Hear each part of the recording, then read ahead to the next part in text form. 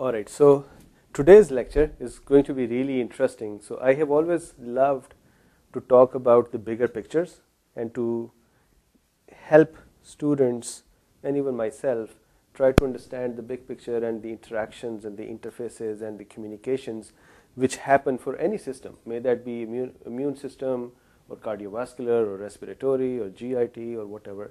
Uh, whichever system you're trying to work with, remember that what you should do is look at the foundations of that system or fundamentals of the system, then understand the fundamental functions of the system, then try to see what goes wrong, the pathology, then see what is the pharmacology of that, how do we give medicine and help that, and then medicine and surgery, then they come and they become the um, further um, treatment uh, regimes.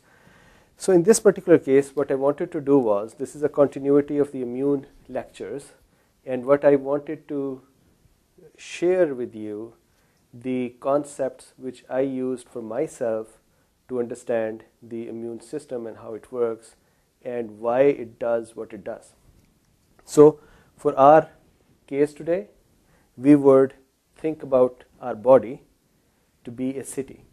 So, let's say we have a Johnville or a Janeville, a city, which needs to protect itself, a city which needs to maintain peace and harmony a city which needs to do homeostasis or stay intact and integral and alive and healthy.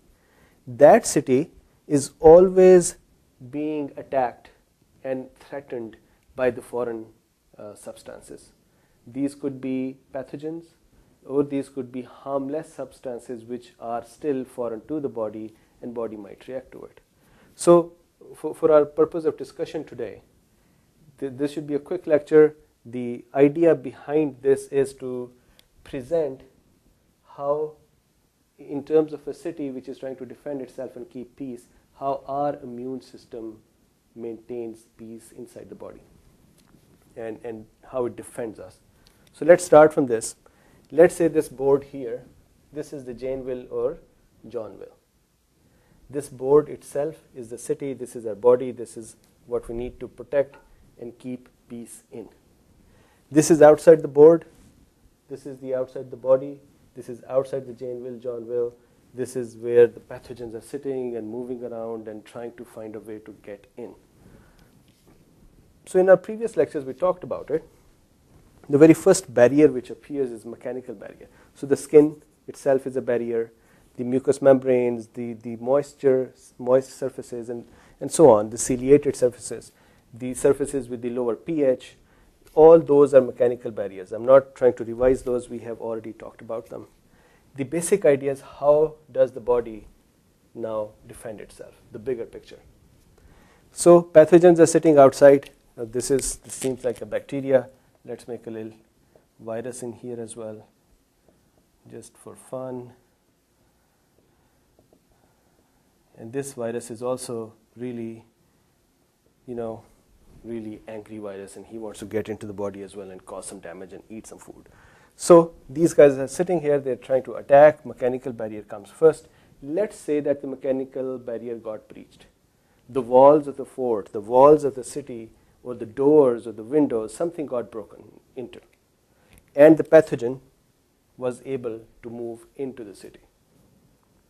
So now remember this the very first thing inside the city, the very first rule of defense of the city is it has some cells, it has some soldiers, it has some defense uh, personals, officers who can differentiate.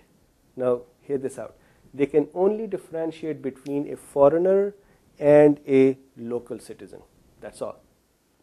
They cannot tell it's a bacteria or a virus or a worm or a pathogen or a, or a, or a other type of um, allergen or pollen, all they know is if something is foreign or something is local. So that is the first thing. So right behind the walls of the city, where the pathogen has entered, let's say the pathogen has ended up here, right behind the wall of the city, there are going to be some cells sitting here. I've made them over here, we'll talk about them in a second. There are going to be some cells here, which are continuously surveying the area, they're continuously looking around and they're trying to see what? They're trying to see if there is a foreigner there, if there is a foreign substance there. So that is the first line of, well, second line of defense. The first line of defense was the mechanical barrier. Okay, so let's see how the Johnville is maintaining its defense. The very first thing to understand is that the John Johnville has a main soldier making factory or a factory where the personals, the officers, the policemen, the cops, the soldiers, the, the marines, the, the army men, they are, or persons, they are generated here. They are formed here. So the bone marrow is the primary manufacture, defense manufacturing area. We know that the bone marrow is also for the blood cells too, but remember bone marrow is also making immune cells. So what happens is there are two types of immune cells which are formed in the bone marrow. Those cells which when are generated in the bone marrow, they come out and they just move towards the innate immune system. They, they become part of the innate immune system. And what does that mean? Innate immune system is a system which has cells and some proteins, we'll talk about them, cells and some proteins which are not specialized systems. That is, they do not attack a particular substance recognizing that to be that way. They only do this. They look at the things which are foreign. That's it. This system doesn't have memory. This does not have specificity. And it is immediate. It would react quickly. It's the second line of defense after the mechanical barriers. So the bone marrow would create some cells which would become part of innate system. Some officers, policemen, cops. So let's see what those cells are. The cells which come out of the bone marrow and become part of the innate system, if you see here, the very first cell which I want to talk about is the natural killer cell.